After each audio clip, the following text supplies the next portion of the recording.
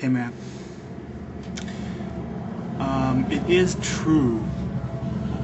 I do like to think of myself as an individual, different from the rest, and not you.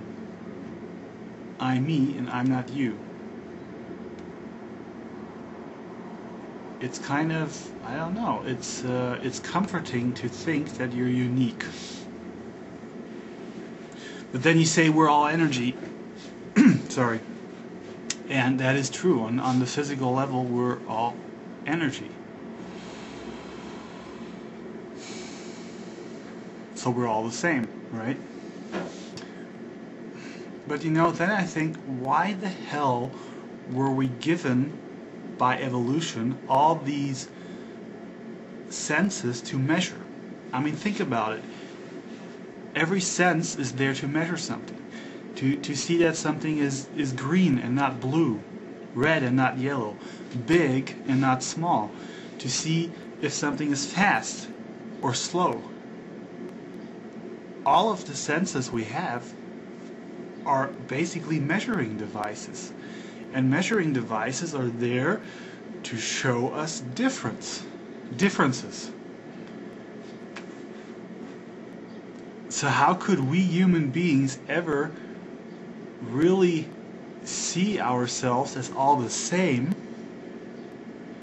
when the only tools we have when the only tools we have are there to show us what's different are there to measure differences? How could we do that? How, it's, it's a paradox now the whole uh, the whole sameness thing is a product of our minds, a product of science, right? Uh, it's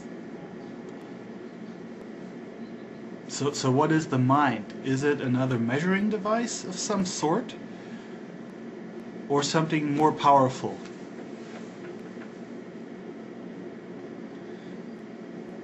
Is it like if we were robots would we have the senses to measure and then the mind would actually be the interpretation device so we can analyze what we've measured? Is that it? Is that the the the concept of the machine human? I mean according to Darwin and I might be wrong here but I think Darwin said intelligence basically was created to outmaneuver the competition. You know, in order to get the fittest ball into the goal, meaning the fittest sperm into the egg. By the way, is that why is that why team sports are uh, so male dominated? Is it a cultivation of that competition? Is that why the cheer cheerleaders are they is that why they're so female dominated? Are they standing around waiting who gets the ball into the goal? Okay, I'm going nuts now. Nuts. Freud would have a field trip with this video, I think.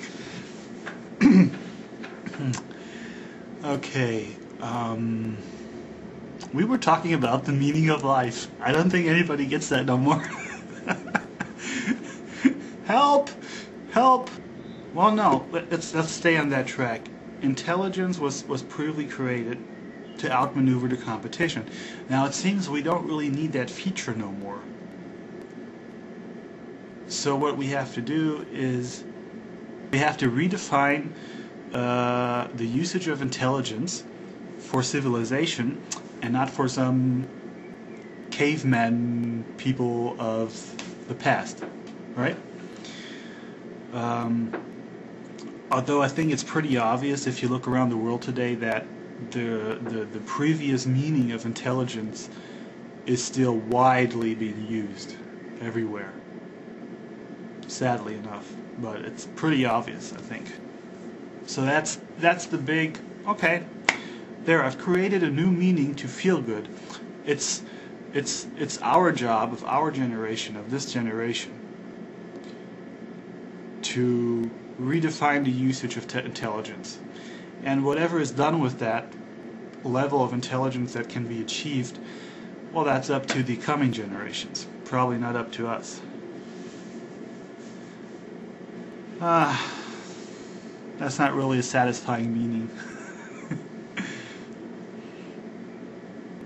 okay, I'm off topic anyway, which is supposed to be the meaning of life, and I'm talking about nuts and balls and goals. Um, I, I saw the videos. Saw the videos uh, that you featured from Carl, Carl Jung, and uh, man, I never. I've heard a lot about the dude, but I never saw him live. Well, obviously not live, but on video. I mean, never saw him on video. I think the guy really was onto some stuff after watching those videos. Yeah. Uh, okay. This is uh, this didn't really turn out the way I. Uh, I think I'm totally. I think I totally crushed the discussion now, didn't I? I think I better stop now. this isn't really I think this is a little off topic, but maybe halfway off topic. I don't know. Well, that's, that's just my two cents to your meaning of life video. Yeah. See you later. Take care. Bye bye.